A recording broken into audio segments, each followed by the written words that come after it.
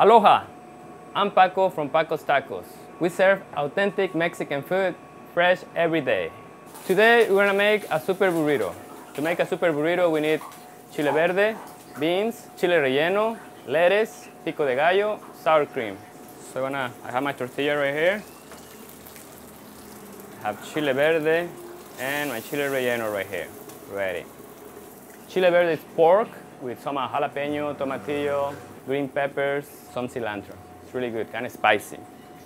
So when I have my tortilla ready, I'm gonna put some beans.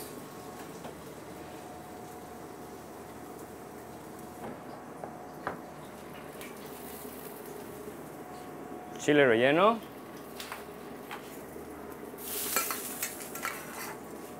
Some chile verde. Lettuce. Pico de gallo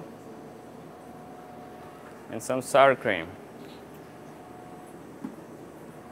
I'm gonna wrap the burrito.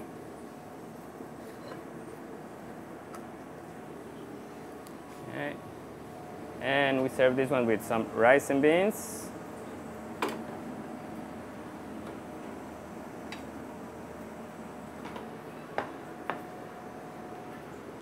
Cheese. And smother with chile verde.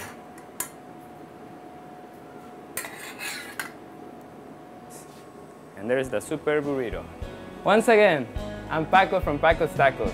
Come in Hanapepe, Kilauea, and Kapa'a. Gracias, mahalo, hope to see you soon. Hasta la vista.